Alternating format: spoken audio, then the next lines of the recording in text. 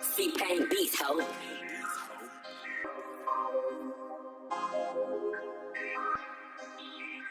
This motherfucker don't miss.